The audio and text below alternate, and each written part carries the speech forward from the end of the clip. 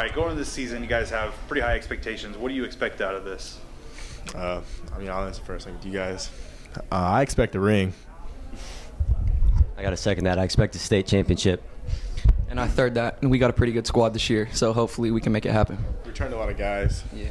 Returned a lot of guys. We didn't lose. Our pitchers all came back. Catcher, our big guys came back. So I think it'll be pretty good. You get a lot of young guys about to step up this year. So Season hasn't started yet. It starts next week, but the injury bug's already hit you guys. How are you guys trying to work through that? here you go. I'm not worried about that at all. I mean, obviously we, we got good players throughout. So if someone gets hurt, I know someone else is going to pick them pick them up and get going with it. So I'm confident in everyone on our team. I think we'll be all right. That's it. He answered it. And uh, speaking from an injured player's perspective, I think we're gonna we we talked about the other day. We're gonna keep it real live on the bench, a lot of energy, so get our players on the field really going. Are you still committed to Oklahoma State? Yes, sir. Why the Cowboys? Why the Cowboys? Um, they're the best school in Oklahoma. It's close to home. Can't say that. Yeah. I was gonna say something else. Like, Now, your dad played football there, right? Yeah, he did. Okay.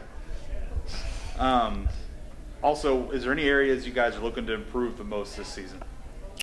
Um, I think with the injury bug being upon us, I think we can improve. Like our a lot of our pitchers, they're not like we just need to step up. You know, they need to the next man up mentality. And I think other than that, we're gonna be pretty solid this year, all through and through.